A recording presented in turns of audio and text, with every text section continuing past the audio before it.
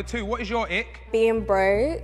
Take me to Dubai on our first date, babe. I'll be real, Phils. Let's just get this party started. You gotta kiss that toe. Huh?